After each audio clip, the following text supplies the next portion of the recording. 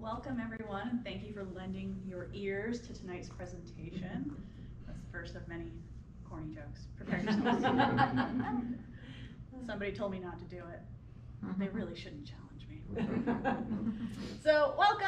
I'm happy to have you all here to talk about one of my favorite topics my adolescent crush, my favorite band growing up as a teenager in rural Illinois, the band Korn from mm-hmm. Bakersfield, California revolutionary sound, still going strong over several decades, uh, revolutionizing their sound, adding new dimensions to metal music.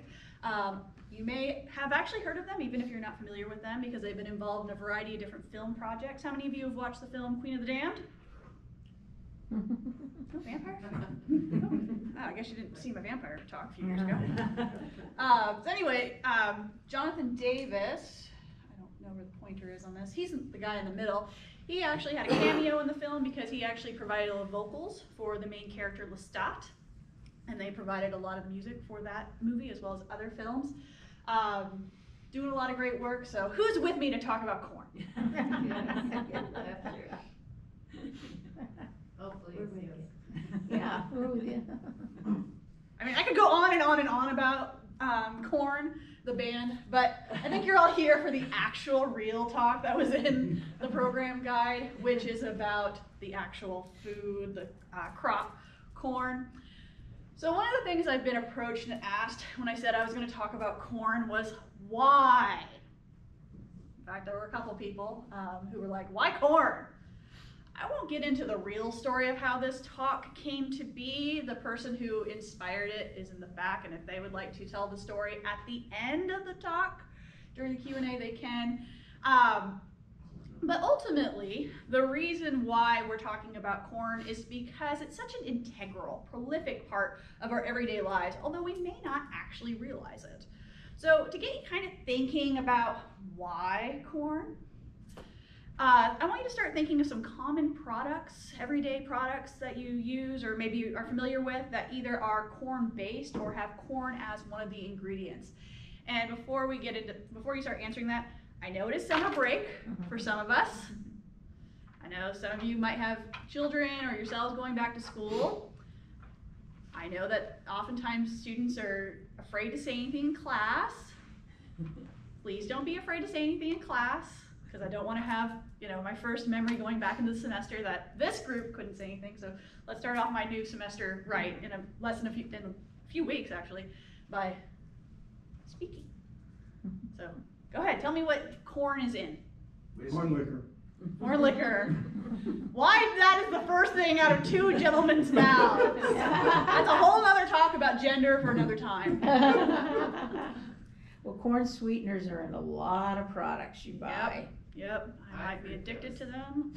What now? Yeah. High fructose corn syrup. Yep. Corn oil. Corn oil, Just corn. syrup. corn meal, syrup, Cornmeal. cornmeal. Does anyone eat anything with corn Sweet today? corn. Sweet corn? Does anyone eat anything with corn today? Mm. Prob- Corn chips. probably. Yeah, Corn corn, chips. chips. I had tacos earlier. Actually, a taco salad because my taco shells broke apart. And I made sure to eat something with corn just so I could be like, yes, I ate something with corn for today's talk. So, pictured here are just some of the many products that corn are uh, is involved in and can be made into. And this is again just a small sampling. I tried to put as many as possible on there, um, and this is what I got. So from drywall, so that might explain why my dog ate a giant hole in the drywall a few weeks ago. She just wanted her corn. She wasn't having a panic attack over the storm and locking herself in my home office. She just really was hungry. Um, paper processing, various types of food. In fact, corn makes up 6% of our daily caloric intake uh, for all humans across the globe. Sixty? 6%. Oh. Yeah. Thank you. Uh, household products, in fact, one of my favorite household products, Febreze, uses corn as a neutralizer for odors. I was very surprised to see that. Wow. Um, various different teaching tools, such as the chalk I use when I am in a blackboard classroom. Um, there are clothing, so there's actually a brand of shoes that is made exclusively from corn, um, and more. Corn is incredibly important to us today, just as it was important to people in the past. So in tonight's presentation, I'm going to delve deeper into the topic of corn, focusing on the origins of corn, following the historical trajectory of where what we knew in the past and what we know today about the origins of corn, and then the importance of corn in building and sustaining civilizations. Is ethanol up there? Pardon? Ethanol, Yeah, ethanol. is it up there somewhere? Yeah, it is. I figured someplace. Yeah, this is actually the top one that's from the ethanol hmm. website. So when we talk about corn from an anthropological perspective, anthropology being the study of humans, and archaeology is housed within anthropology, being the study of people from the past and their cultures and their material cultural evidence, we actually refer to it not as corn, but as maize. And that is actually the original name uh, for this specific product, and that's the term I will be using throughout this presentation. Um, although as we get closer to more modern day stuff, I will switch into corn versus maize. So Maize is an annual cereal crop. And I stress that because how many of us grew up with our parents telling us to eat our vegetables and pointing at corn? it's not a vegetable, it is a cereal crop, grass actually. Uh, and it comes and it can grow in a variety of conditions and environments. It's characterized by having very long ears and starchy seeds or kernels. It comes in a variety of colors, including white, purple, yellow, blue, red, multicolor, and more. And there are actually six different types of corn that are grown today. Um, the best type of corn, in my humble opinion, is sweet corn, that corn that we're all probably very familiar with. Um, I like to grill it, but um, you can have it in various different ways.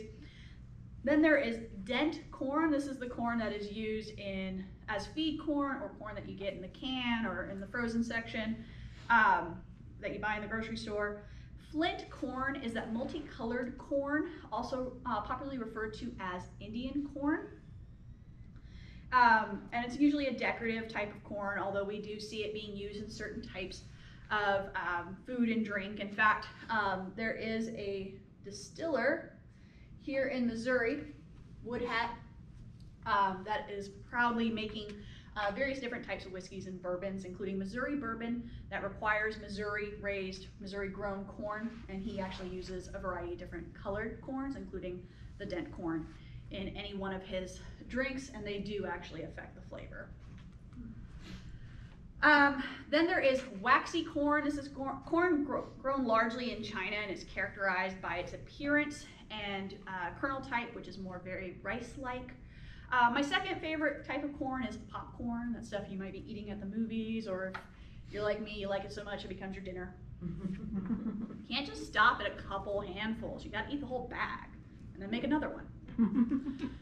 and then there's flour corn. This is grown throughout the Andes and used for corn flour. Corn is actually the most widely grown crop in the Americas, and it outpaces the cultivation of various other grain crops globally.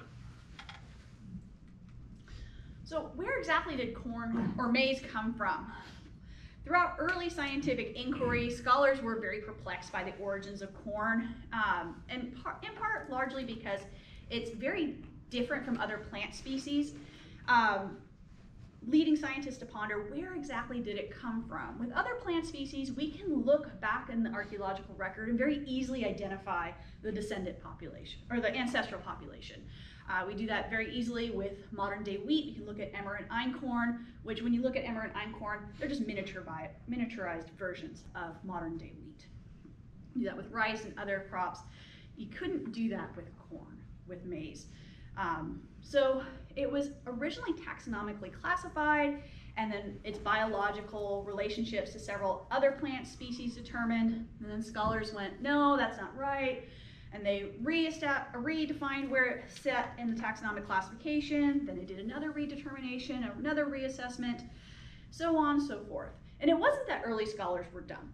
It wasn't anything like that. Again, it was because there was no clear ancestral uh, maize out there. So this left a lot of early scholars going, where exactly does this fit within the grand scheme of our taxonomic classifications? It's very similar to the question which came first, the chicken or the egg. But it's big, the big difference being we know that chickens and eggs are related. We also know eggs come from reptiles or uh, some marsupials such as the platypus from down in Australia. They do lay eggs for those of you who are not aware. Um, So we have that direct connection with the chicken and the egg, but we did not have a direct connection to the ancestor to maize. Um, so that left scholars really kind of perplexed for a number of years. Until the 1930s, when archaeologists started uh, making some headway on the origins of maize, uh, starting in 1938 with Paul Mangelsdorf and Robert Reeves, Reeves, who published the tripartite hypothesis. In their paper, they proposed that maize had a wild ancestor that was either yet to be discovered or had gone completely extinct, and therefore we would never discover it. And this ancestor was would be found somewhere in South America, and this would eventually give way to modern maize.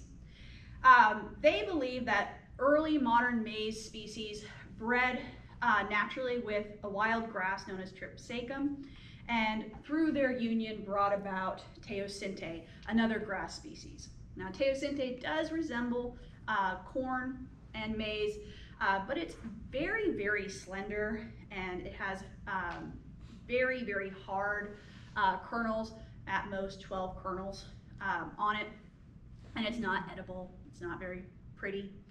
It looks very raggedy. It's not something you would necessarily go, hey, there's a connection here.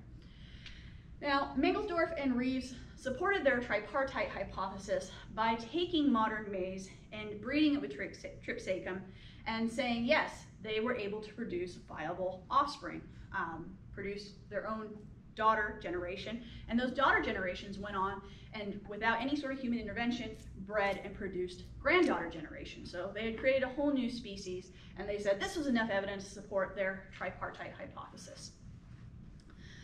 So less than a year later, George Beadle was a biology student, and he came up with a competing hypothesis claiming that the morphological, meaning the shape differences between teosinte and maize were not actually that different and didn't require a common ancestor. Instead, he claimed that teosinte was the ancestor to maize and that it was through a very slow, deliberate, thousand year or more process that teosinte was evolved or changed into uh, modern day maize. He coined this the teosinte hypothesis, saying that the teosinte gave rise to maize. Now, to support his hypothesis, he actually took Mangelsdorf and Reeves' data, evidence, and said, hey, this also supports the notion that uh, teosinte could have been the ancestor to maize because they're able to be bred um, and such. And the genetic similarities between the two uh, weren't that different. Um, but the big um, stickling, stickler point, the big sticking point was that this evolution, this change over time would have taken thousands of years. When we think about the agricultural revolution, the changeover from being a foraging, hunter-gathering lifestyle to uh, taking on agriculture, we use that term revolution and it conjures up these ideas that this was a quick, very uh, fast-paced change. So a lot of archaeologists weren't necessarily keen on thinking and supporting an idea that this was actually a slow, thousand-year process in certain areas of the world. Um, and it could have also been that George Beadle was a biologist and that he was also a student versus uh, Mangelsdorf and Reeves, who were uh, archaeologists and PhDs. So ultimately, the scientific community rejected Beadle's ideas and they supported Mangelsdorf's and uh, Reeves' hypothesis, their tripartite hypothesis.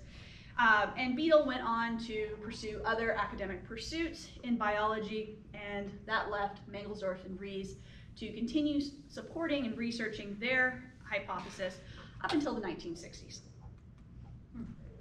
Now, in the 60s, Mangelsdorf and Reeves' tripartite hypothesis began to lose steam, so to speak, for various reasons. Uh, the biggest was that geneticists started looking um, at early maize genetics. Paleogenetics was in its infancy at this time. Um, it's gotten a lot better, but they were making some pretty um, revolutionary, reaching some pretty revolutionary collection or conclusions uh, from collected archaeological samples. We actually had much larger archaeological samples of early maize as well. And they weren't actually finding any of this genetic evidence of a missing ancestor, the key to the tripartite hypothesis. Like, there's, it's not there we're missing a huge part of the three-part uh, ancestral uh, hypothesis. Also, Beadle at this time um, had retired from academics. He had a very fruitful career, and he decided, for whatever reason, that he was going to go back and re-examine his uh, Teosinte hypothesis. And because he was retired, he dedicated all of his time to this and just published like mad um, about his what his original idea was. And it took about 20 years, but eventually the tripartite hypothesis was bested by the Teosinte hypothesis. So today, through a collaborative effort of paleogenetics and archaeological studies um, of both ancient and modern maize uh, varieties, we know that maize evolved uh, from a wild Balsas teosinte around 9,000 years ago. And the first wave of domestication did not occur in South America, as Mangelsdorf and Reeves believed, but instead occurred in the states of Michoacán, Guerrero, and Estado de Mexico, um, in the Balsas River drainage of uh, south central Mexico. Now, teosinte is actually a group of grass species, some of which are annual, meaning you have to replant them every year to get them to come back, or they're perennial, you don't have to do anything, they come back on their own. Those are the types of plants I like. Um, and teosinte is indigenous throughout Central America, just naturally occurring. It is a single stalked tall grass with typically no more than two rows, yeah, rows of very hard kernels, anywhere from five to six uh, seeds or kernels. It is not consumed today and it is not believed to have been consumed in the past uh, due to the hardness of the kernels. It's a very sickly, not very cute, appetizing plant. So I don't really blame anyone for not wanting to chow down on this. So how exactly do we know teosinte gave rise to maize? Through um, a couple different uh, avenues of research. The archaeological evidence shows that the earliest dated uh, maize um, through using radiocarbon dating, which looks at uh, the radiocarbon um, proportion, radiocarbon 12, uh, 14 carbon isotopes, looks at that proportion. And it shows that the earliest come from the Balsas River drainage, but it also shows that the earliest uh, maize are tiny, very similar in size to that teosinte. And over time, it started to get more robust and longer to being modern maize as we know it today. So by studying those morphological shape changes over time, we know that maize started out incredibly small, incredibly uh, thin, and then eventually grew out mm. and up um, to being the tall, fat ears of corn that we're used to today. Um, now, we don't particularly know uh, how and why indigenous populations in the past looked at Teosinte and some stories as um, discussed, written, chronicled in the Popol Vuh. They, the creation myth, or sorry, the creation story, uh, chronicled all the different versions of humans that had come before the ancient Maya. And each one of them had been created through some sort of natural uh, product that the gods used to form them, and then through their errors of not pleasing the gods, they were destroyed. And according to the Popol Vuh, the ancient Maya and all modern humans were formed from corn. And in order to not befall the same um, situations as their predecessors, the Maya actually practiced artificial cranial modification, the purposeful reshaping of the skull to elongate the natural form of the skull to look like maize. And that was their way of keeping the gods happy so the gods did not strike them down and have something horrible happen to them. also, the uh, Maya um, actually dedicated two gods to maize. Uh, one was a young maize god, pictured here, and one was an old maize god, representing the more mature, ripened version. So corn was incredibly important. Maize was incredibly important to the Maya um, for various different, in various different ways.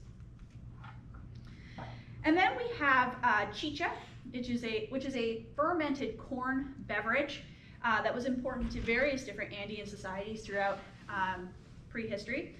Um, it was used principally for ritual uh, purposes. It was a ritual drink. It was not consumed specifically to get drunk. That was not the purpose of it. It was actually meant to be consumed over several days and nights during specific rituals, be it funerary rituals, uh, pictured here in the Guaman Poma, um, annual celebrations, sacrifices, etc. Um, and what's interesting is that each cultural group had very specific types of vessels dedicated to the consumption of chicha.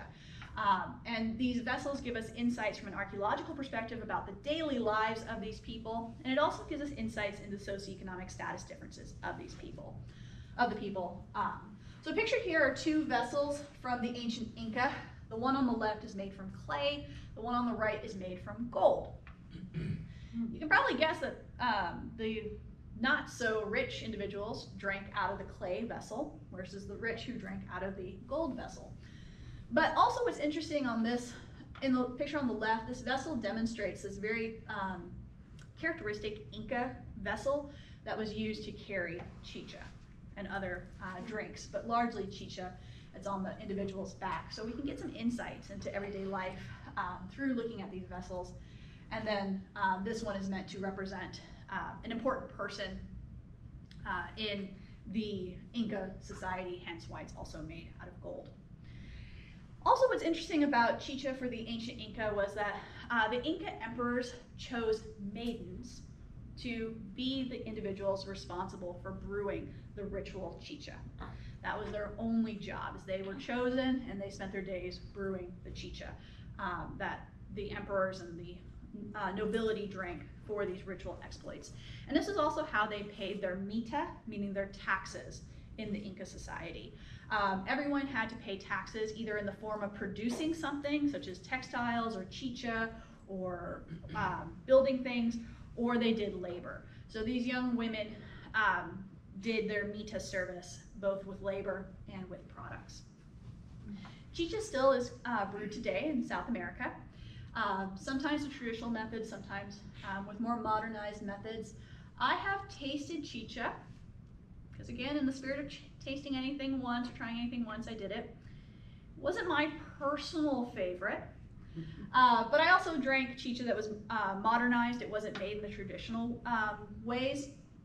Patrick McGovern out of uh, Pennsylvania has teamed up with Doghead Fish Brewery in Pennsylvania, and they've actually spent their days, because uh, Patrick McGovern is a archaeochemist who studied wine and ancient ales, and he actually uh, rediscovered through the archaeochemistry how ancient chicha was uh, brewed, and they've recreated it out at the Doghead Fish uh, Brewery. So if you're ever in Pennsylvania, or when I finally get out to Pennsylvania to visit my friends, that is on my list of places to go.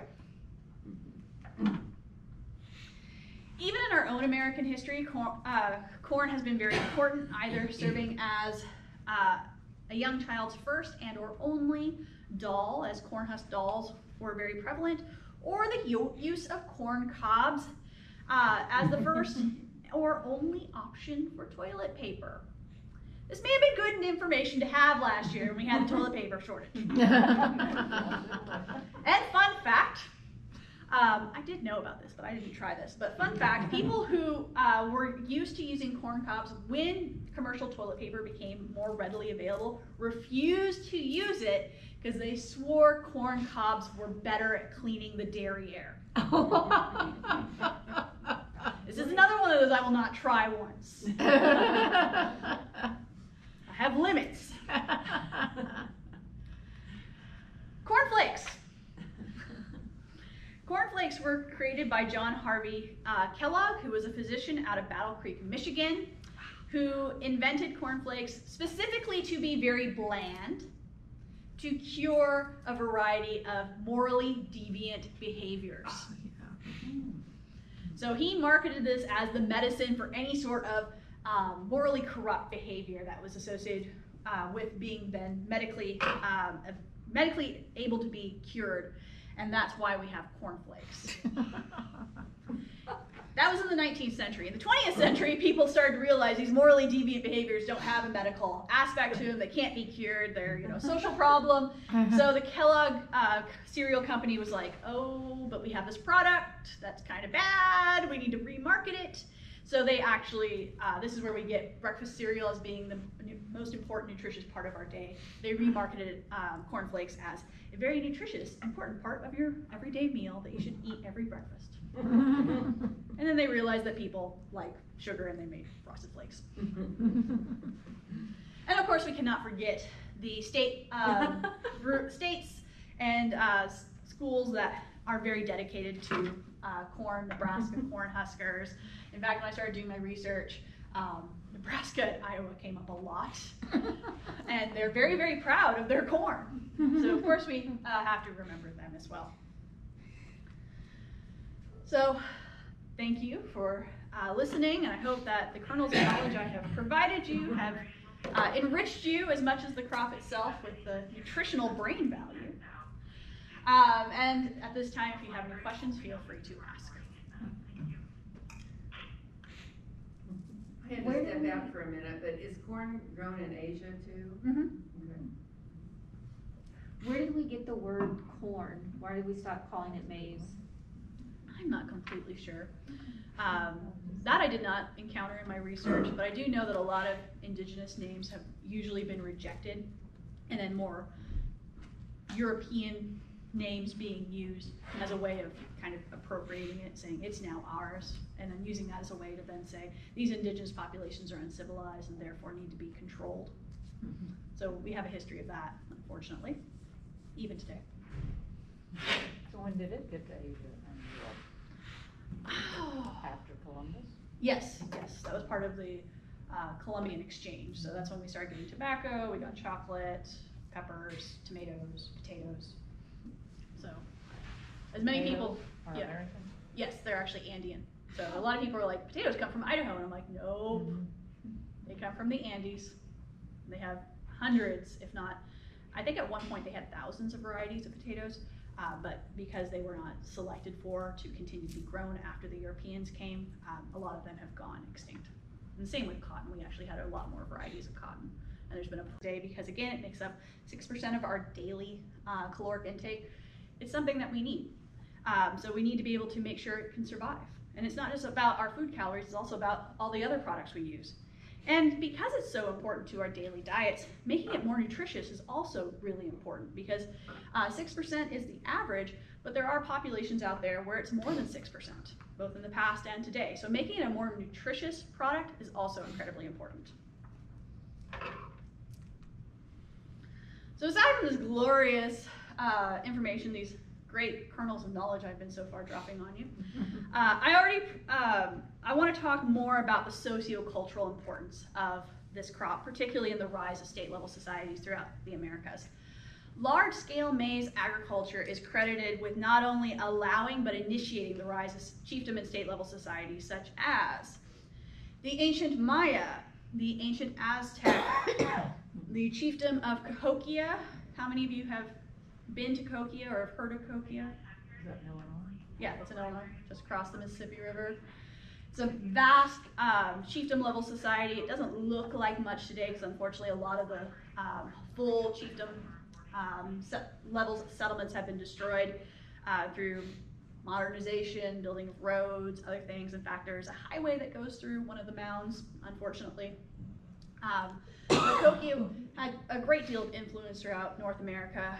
Uh, we know that they had trade networks all the way up to modern day north, uh, southern Quebec and modern day northern Mexico. Um, shameless plug Cahokia is currently a state uh, site in Illinois, and they are actually petitioning for it to become a national park. It is 20 minutes from St. Louis.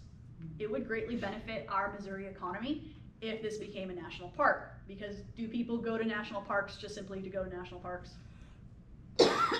So, uh, if you're interested in helping Missouri eco- um, economy or just you know helping elevate this to a national park, please contact your local representatives at the federal level and ask them to sign off on the bill to make this a federal or national park.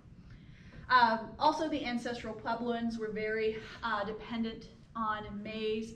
Uh, you may actually be more familiar with them as being called the Anasazi uh, which is actually a ethnic slur. They don't uh, want that term used, and I'm only using it in the context of making that connection and then educating you on it. Uh, these were the cliff dwelling uh, groups throughout the American Southwest. Um, when they were there, it was a much more tropical environment. There were a lot more uh, water resources, and they were able to grow maize um, at, in abundance to maintain their large um, populations, as well as populations throughout Peru, Ecuador, and um, Brazil.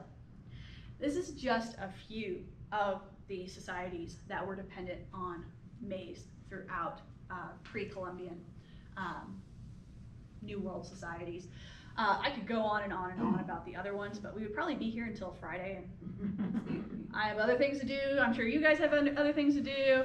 If you want to learn more, you can come take a class at Lincoln University because I do talk about this in several of my classes. So feel free to take those classes. Um, but ultimately, this highly nutritious crop um, sustained large scale populations, thereby enabling the great population growth required for chiefdom and state level societies, and the large scale monumental architecture that we associate with them, and the social complexity that are required for these socio political units. Ultimately, large populations are keys to successful chiefdom and state level society development and continuity. Um, and one of the key aspects of having a large population is you must keep them happy. One of the best ways to keep a population happy is feeding them. In fact, we know that one of the reasons that large scale societies collapse is because people go hungry. That's one of the many reasons. And I don't know about you, uh, but I'm sure we all know somebody who gets hangry. There's that phrase. Anyone who knows me all knows that I go from pleasant Dr. Boston to Mrs. Hyde very quickly when I'm hangry. People kind of see it in my eyes. They're like, give her a Snickers with that high fructose corn syrup. Give her something. So, um, keeping those populations uh, fed was very easily done with maize. It's a very versatile crop that is nutritious, um, and it can be cooked in a variety of different ways. How many of us have ever been stuck eating the same thing over and over and over again? I was an undergrad, I was a graduate student, I was broke, I had a lot of ramen. And there's actually a ramen cookbook, so you can dress it up in a variety of different ways. You didn't need a cookbook for maize, because you could grind it, you could boil it, you could fry it, you could do all sorts of things with it, so people wouldn't necessarily get bored with it. And more importantly, it could be stored for long periods of time, thereby feeding your population if you had poor harvests, if you had situations where your crops failed, or as much as people like to brag that they're successful hunters every single time they go out, reality is you're not going to come back every single time with food from that hunt or from that fishing expedition. So you always had maize as a backup. Also, maize stalks and husk could be used for a variety of other products, such as fuel, uh, by burning them, uh, creating mats, baskets, clothing. Um, so ultimately, it was a very versatile crop that you could use for a variety of different purposes, and it was important as the backbone in allowing not only for societies to survive, but thrive. How many of you have heard the phrase the three sisters? Yeah. refers to the combination of corn, beans, and squash being grown specifically for the purposes of being a nutritious diet for indigenous populations, uh, being the three dietary staples, providing the starch, the um, veggies, and the protein. What most people don't talk about, however, is the um, economic value, the agricultural value of the Three Sisters. Uh, corn and beans actually take out or put in different nutrients into the soil, thereby allowing them to have this symbiotic shared relationship where they could grow uh, quite um, perfectly together. Also, they had the added benefit of beans for those very early maize um, products that weren't necessarily very hardy and able to stand up on their own. It helped keep it up, and the corn uh, acted as a um, stilt, so to speak, to allow the beans to grow uh, tall and uh, hardy. But the squash actually acted as a natural barrier to weeds. Any gardeners in the room? Uh, how many of us love weeding? Come to my house. He's a champion.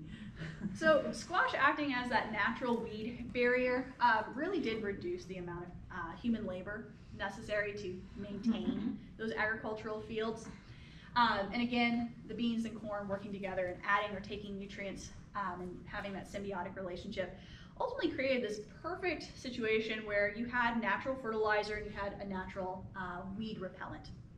The same idea, the notion, the heart of this notion is being um, adopted by our current uh, Lincoln University College of Ag faculty who are looking at uh, this idea of trying to find um, crops that will act as a natural weed barrier, thereby reducing the amount of time and money spent on herbicides, and also, if possible, adding nutrients to the soil, thereby reducing the cost related to fertilizers. So, um, taking from that idea um, of the Three Sisters and modernizing it for the benefit of modern farmers. Because ultimately, if you have a crop that you're growing that is acting as a weed barrier, you're saving money, you're saving time, and hopefully it's a crop or a product that you can also sell, therefore making more money in the process. Um, additionally, at least one uh, cultural group in the past, corn meant more than just being a type of food. It was part of their lifeways. Uh, this was specifically for the ancient Maya, who, according to their creation, said, hey, let's grow this and manipulate it to something better. Again, it's not a very robust, it's not a very tasty looking plant. Um, I kind of look at it and I'm like, I know a lot of really, you know, picky people. so um, something must have occurred for them to go, let's do this, let's change this. And the best hypothesis that we have thus far is that there was some sort of mutation in a wild teosinte uh, plant or maybe a series of plants that made those kernels either softer or made the plant itself easier to manage for um, eating purposes. And that's why it was chosen specifically for horticultural practices. Did they grow it for their animals? No, we know that they were growing it for themselves. No, the animals ate other things. Now, originally, maize was believed to have been largely domesticated in Mexico and then traveled, not by itself, it doesn't have legs, just has ears, um, but traveled with people either trading across the New World or uh, resettling into new parts of um, the Americas, um, and eventually made its way into Panama about 7,000 years ago, Peru 6,500 years ago, and North America 4,000 years ago. Now, the idea of a single domestication um, occurring over several generations in Mexico was long held believed. In fact, that was something I was taught in as an undergrad several decades ago. Uh, I don't like telling my students my age, so I don't want to give it away in this talk in case any of them catch it later. Um, but there's actually been some more recent evidence published in 2008 that uh, refutes this idea of a single domestication area. Um, it actually was based on genetic evidence of various different maize species, both in the past and today, and actually showed that there were several different intervals of domestication of maize throughout uh, all these different areas in North, Central, and South America. Um, so it appears that as people were taking maize with them, either as a trade option or um, as a new plant that they were going to grow in an area that they had just recently settled, it was a semi-domesticated, semi-wild variety. And then each of these areas, uh, starting in Panama, then in um, Bolivia and Peru, and then later in North America, they started doing their own domestication of it. And finally, it um, became fully domesticated through all of those individual processes in these different areas. Um, so this could explain uh, how and why corn is so versatile and being grown in a variety of different environments today, and also could explain why we have at least six different types of uh, corn that is uh, grown today. Uh, the authors did not just rely on the genetic evidence, though. They actually looked to uh, linguistic uh, evidence, historical linguistic evidence, and showed that by looking at the history of language change in these areas, that when maize, the word, was introduced to the language, that is also when the crop was introduced. So we have multiple lines of evidence, which we like in science, particularly in anthropology, to support this um, hypothesis.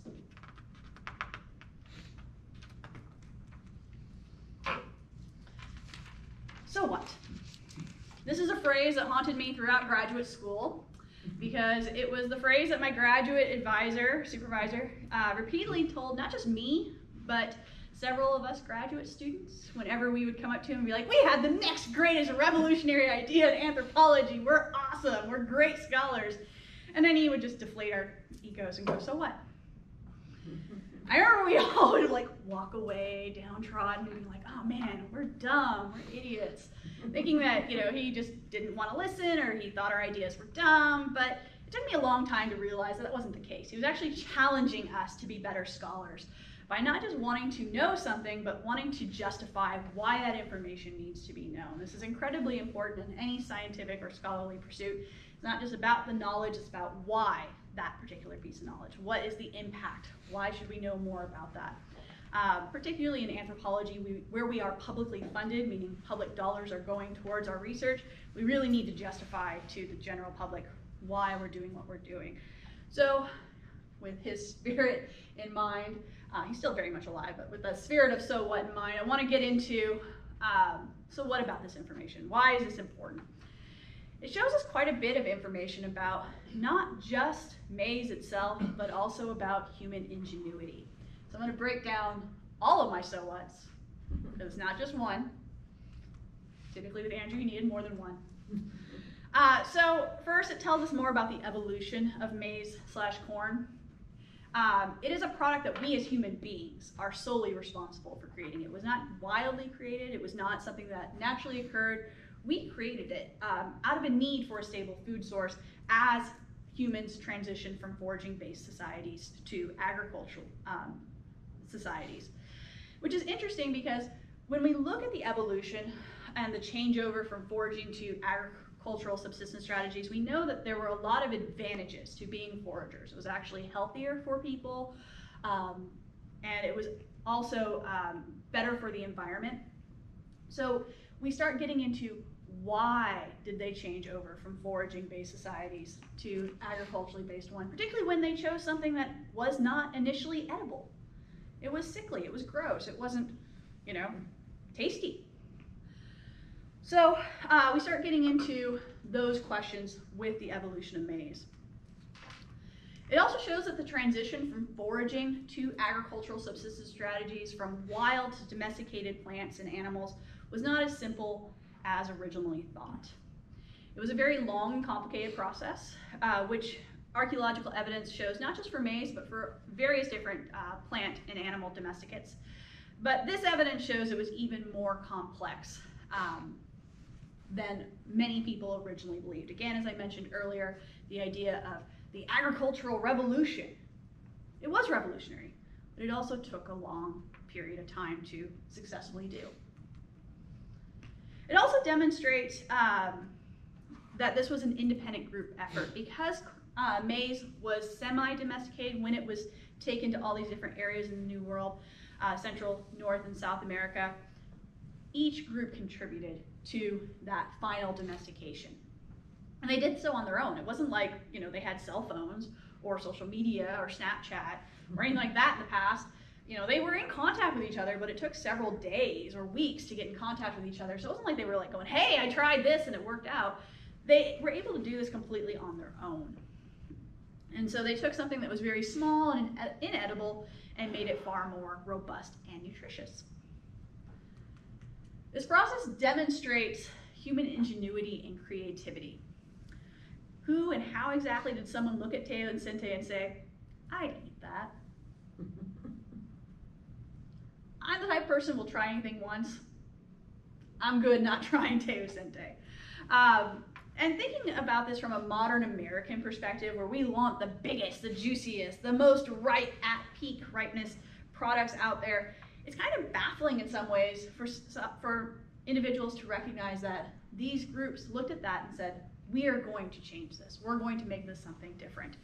Um, so I like to credit them as geniuses, as trailblazers, because they took something that wasn't edible and they invented a whole new crop that sustained them and continues to sustain us today. And in case that's not enough, for those of you who don't like history, it's okay. Not no one's perfect.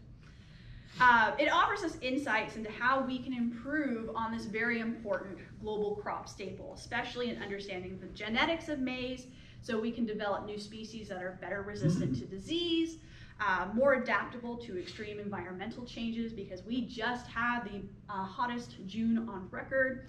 We are seeing various different um, global environmental changes. Uh, I've got friends in the Pacific Northwest, and uh, the fisheries are being decimated because of the heat the lack of oxygen in the water because of the water temperatures getting too high. Corn is so important to us to push to bring them back because they're naturally different colored and they're actually more sustainable than the white cotton. Wow, cool. Because they don't lose their color and they're actually hardier. They actually are resistant to pests a lot better. Speaking of potatoes, um, with corn being such a staple crop for so many societies, has there ever been sort of like a Irish potato famine? Sort of event with corn and that impacted societies? Um, yes and no. Um, when we have situations where there are drought and people weren't able to sustain those maize fields, such as the Anasazi, um, that was one of the contributing factors to the fall of that society as desertific- desertification took over and they started losing water, and we see that throughout the American West, hence why it's so dry out there now and water is so expensive. Um, that was a contributing factor because they couldn't feed their population, and that led to violence and interpersonal violence among the Anasazi, and ultimately uh, that led to the fall of their societies.